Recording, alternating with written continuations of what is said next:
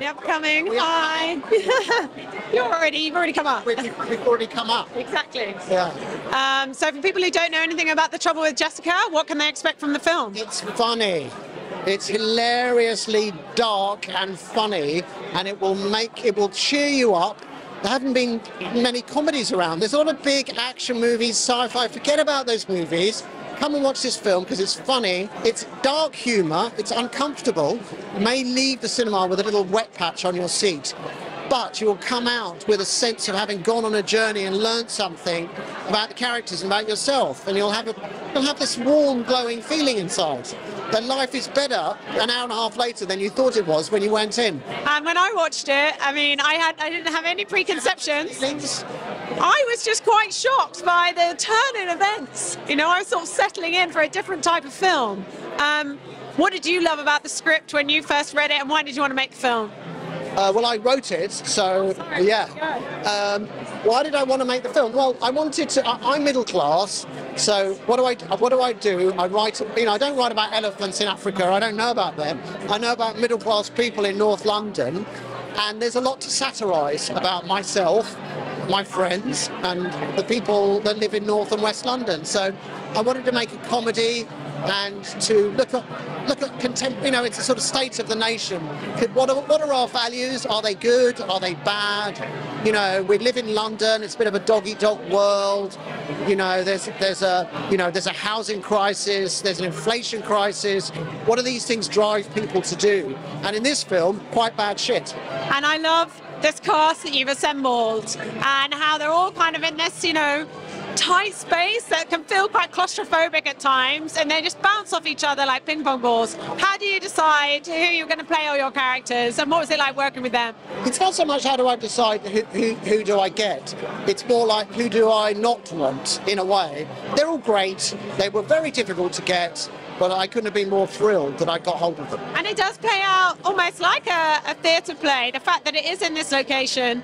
Um, what were some of the highlights and challenges of shooting the film? Well, I mean, it's the, the challenge is is to to um, make a film like this look visually interesting.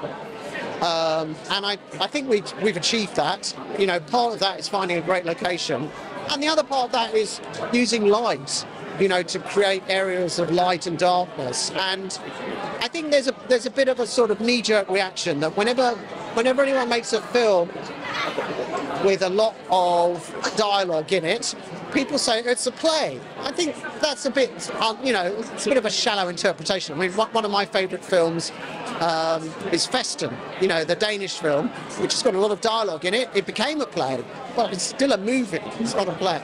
Yeah. And, and, and there's a lot of physical comedy as well as a lot of lit- witty lines. Did you have a favourite moment or a favourite line? My favourite lines are the ones I wrote. Uh, no, I mean my co-writer's brilliant. So he's he's written a lot of great stuff.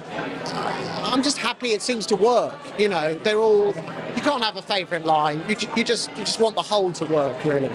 And I love how all the characters are so contrasting. And like you say, they're kind of like poking fun a bit, you know, at some of these stereotypes. But you know, there is some like truth in what comes out in their relationships and their dynamics, and you sort of feel like going through this maybe brings them out the other end, you know, a bit different than when they went in. You know, what do you want people to take away in that sense? Well, it's interesting that uh, you made that point because at the very end, uh, Olivia Williams' character said, I, "I shouldn't have brought her," and she and then she says, "But if I didn't, if I hadn't done, we wouldn't be the same people we are now." And really, the interesting point about that i- i- is that they've been living a lie in a lot of their marriages, and they have to go to hell and back and, and face up to the truth to learn about who they are. So even though it's painful, they come out better people, I think. And I do think there's something supremely British about sort of, you know, juxtaposing tragedy and comedy. And it does feel like sometimes we do need to laugh at ourselves a bit. I mean, I guess the success of things like Succession show that too. Yeah, I mean, I love Succession. I think we're, we're very good at dark material. Also, I mean, I'm a big fan of, Scandinavian cinema, and they're very good. You know, Swedish films, Danish films, hilariously dark. You know, I love all that stuff, and I think it's because the weather's so miserable. Well, thank you so much. Really enjoy the night. Thank you. Congratulations. Cheers.